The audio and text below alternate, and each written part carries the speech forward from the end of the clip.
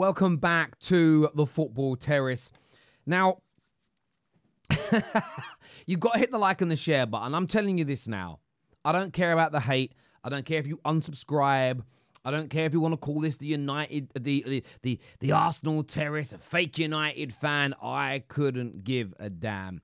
This isn't about Arsenal per se, but I do have to say, the referees, the PGMOL, the media, they do make it hard not to throw out the accusations that they despise and hate Arsenal. At the very least, the inconsistency from them is unbelievable. No wonder the referees, no wonder so many of the decisions are inconsistent. Take a look. Take a look at this. Two videos here. Partly what Dermot Gallagher said about Declan Rice's red card. Take a little listen. This is fascinating. You could hear what Arsenal fans uh, made a referee. Now, we went through this yesterday, but it's important to listen to it again. It's very, very important to listen to it. Chris Kavanagh's decision to show Rice a second yellow card for delaying a restart just there. Uh, what we want to know, Dermot, did he deserve it? Well, they were told at the start of the season, I think the briefing was quite clear that if you do this, if you make this action, delaying the restart, you run the risk. I say you run the risk because I think you're aware that you think somebody else should have got a yellow card, but that doesn't exonerate what he did. I think two things didn't help him. If you look, he knows what he's doing. And secondly, the touchline. And I say the touchline because because he knocks it, people say oh, he didn't knock it very far, but he actually knocks it off the field, so he definitely can't restart play. So referee Chris Kavanagh's got nowhere to go really. He'd had a yellow card for a lunging tackle in the first half, second yellow card mandatory, gets sent off.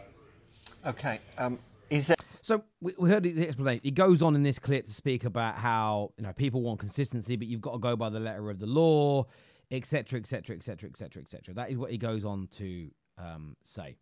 Now, that's fine. Hasn't mentioned Veltman kicking him.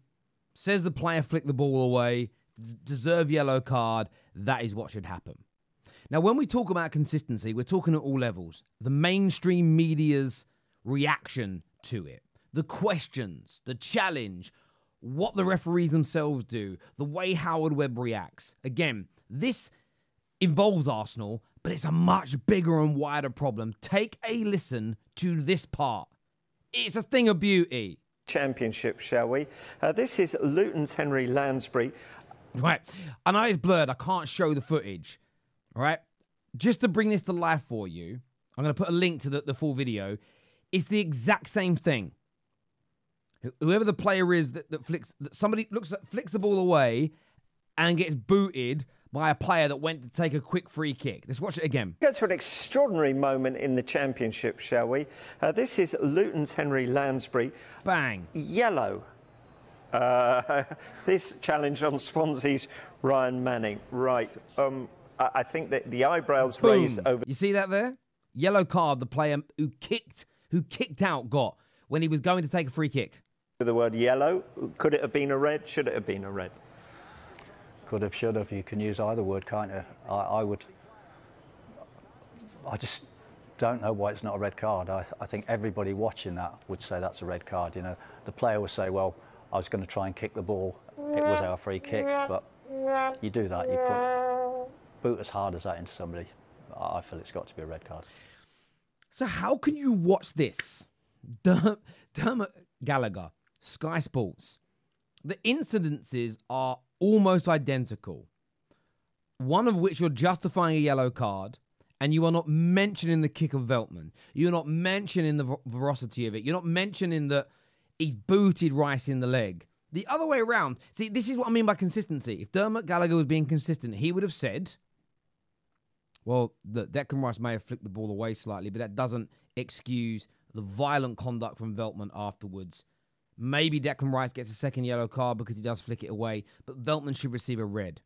Or if he was consistent, he would say, it's not a red card. It's not a red card to Lansbury. In fact, it's not even a booking to Lansbury. He would have kicked the ball. He went to take a quick free kick, and whoever his opponent was flicked it away. He should be booked for delaying the restart. You know, it's it. The inconsistency is a madness. And I get there are some Arsenal fans angry at their team's performance at the weekend and they want to focus on that. Fine. You can do both at the same time. Human beings have the capacity to th- think about multiple scenarios from the same football match at the same time. All of them can be called out. But I believe Arsenal were robbed. They were robbed of a player on the football pitch, and they were robbed of an even better opportunity to win the game. Yes, they had chances to win, but do you really think Brighton were getting back into that game realistically? Would they not have created even more chances had they had 11 men on the football pitch? Aside from that, the level of defending, and this is this is the thing for me. I've called it out all week, and I stand by it because this is going to happen to Liverpool in a week's time. Then it'll happen to City. Then it'll be Arsenal again. Then it'll be Man United. Then, then it'll be Spurs. Then it'll be Chelsea. I'm going to be consistent. I want to see consistency from the referees, and I want to see consistency from these pundits. And the biggest element of this clip that annoys me is that Sky Sports don't challenge it. How was how was anybody from Sky Sports standing there yesterday and not going, hang on though, Derm? Not a, a while back, you uh, decided that that should have been a red card to Lansbury for the exact same thing. Why is it different? At the very least, with that challenge, we all get educated. We broaden our horizons. We understand what's going on. And I've said it before and I'll say it again. If you hate Arsenal, or if you're an Arsenal fan and you hate Arteta and you don't like this team, then this is a great thing that happened. You get to laugh at Arsenal. You get to have a go at Arsenal fans that you don't like. But what you're doing is perpetuating the inconsistencies within the game.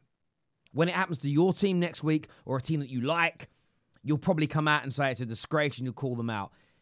It doesn't excuse the misses from Kai Havertz. It doesn't excuse the- problems in the game for Arsenal, and Arsenal fans will address it. But I completely concur with their anger that people are ignoring the conversation surrounding these inconsistencies.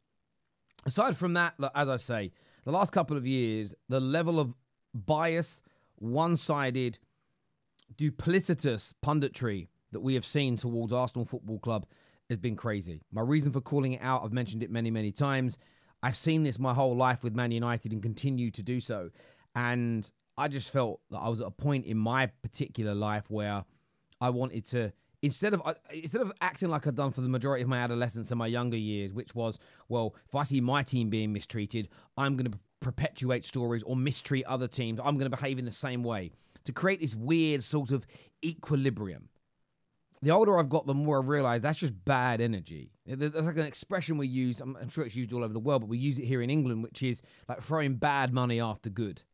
And if that's how it sort of feels to me, it's almost like, well, I've got an opportunity to speak the truth. I've got an opportunity to have a, a real solid, productive conversation, or I can just go, aha, Arsenal fans moaning, get, get, you know, you're in the mud, you're always whinging, deal with it, hold that L.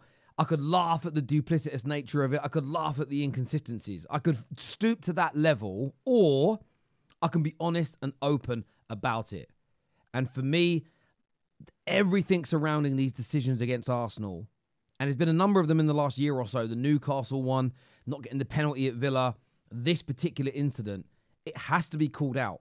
Not because I'm backing Arsenal, but because I want more consistency. And I keep hearing people say, you can't get more consistent with subjectivity. You can. You absolutely can. Because delaying a restart is not really subjective, is it? it's it's very clear and obvious to see. It really, really is. But again, they talk out of both sides of their mouth depending upon which football team or which referee has made the mistake or basically what Howard Webb tells them to say. And there is a problem with that because I don't think there's a conspiracy. I don't think there is corruption. I don't. But I understand why people make the accusations because this stinks. Leave us your views and, and comments in, uh, below. Until next time, my people, take care, goodbye, God bless, and I'll see you soon. Peace.